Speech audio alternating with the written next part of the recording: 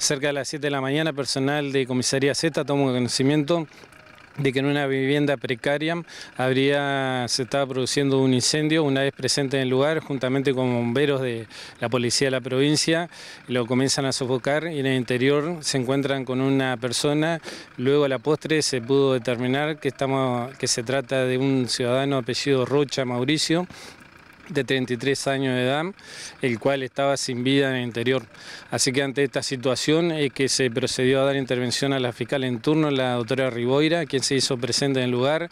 También personal de bomberos está realizando las pericias correspondientes, como así también eh, criminalística.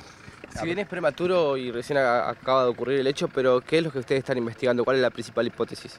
Bueno, en este momento, por directiva expresa de la fiscal, el cuerpo fue trasladado a la morgue judicial, donde se le va a realizar la correspondiente autopsia para eh, determinar las causales reales de su deceso. Esto, eh, si bien obviamente eh, estaría investigativa, ¿se puede establecer si, si el incendio pudo haber sido provocado para tapar otra cosa? Bueno, eso es todo materia de investigación, justamente como yo le estaba indicando, personal eh, especializado de, bomberos eh, está realizando la correspondiente eh, intervención en el lugar para después a la postre determinar a ver cómo fue que se originó ese incendio y si tuvo relación o no con el fallecimiento de, de esta persona. ¿Qué es lo que se pudo determinar, qué es lo que se pudo saber con los vecinos acerca de esta persona? ¿Vivía sola, tenía grupo familiar? Bueno, esta persona si bien tenía hijos, vivía solo en, ese lugar. Estamos hablando, si ustedes como filmaron, una vivienda precaria, de un lado material, de la otra de, madera, ¿no?